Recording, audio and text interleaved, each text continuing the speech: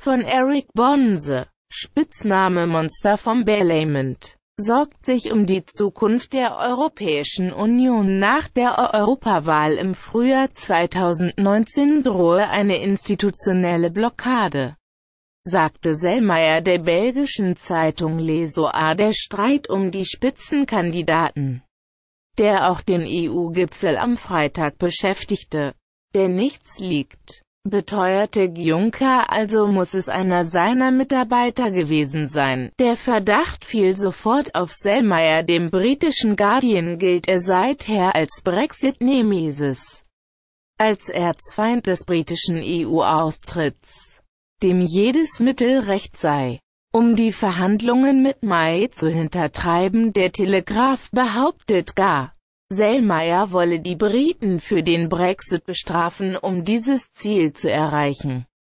Schrecke er nicht einmal davor zurück, Kanzlerin Angela Merkel zu manipulieren. Auch in Frankreich traut man dem 47-jährigen promovierten Juristen so ziemlich alles zu mit Frank Underwood dem rücksichtslosen Strippenzieher aus der US-Serie House of Cards.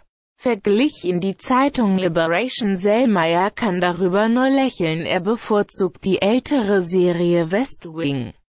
Einem Sozialdemokraten. Um zur Weltbank zu wechseln ihr Nachfolger wurde Günther Oettinger, der nun gemeinsam mit Selmayr über die Zukunft des EU-Budgets entscheiden darf. Oettinger war es auch der Selmayr vor Kritik in Schutz nahm, er ist kein Undercover-Agent der deutschen Politik, sagte der CDU-Politiker nach der umstrittenen Nominierung am Donnerstag, doch genau dieser Verdacht hält sich hartnäckig. Seit Selmayr seine Karriere in Brüssel angetreten hat, der heimliche Herrscher der EU, wie der Spiegel ihn nannte, der ebenfalls bei Bertelsmann arbeitete, Bruck gilt genau wie Selmayr, als einer der einflussreichsten Strippenzieher in Brüssel. Mit direktem Draht ins Berliner Kanzleramt schon 2004 wechselte Selmayr in die EU-Kommission. 2010 stieg er zum Kabinettschef von Justizkommissarin Vivienne Reding auf. Er versuchte, die Luxemburgerin zur Nachfolgerin von Kommissionschef José Barroso aufzubauen scheiterte jedoch und wechselte über Nacht das Lager bei der Europawahl 2014 machte Selmayr dann für Juncker mobil.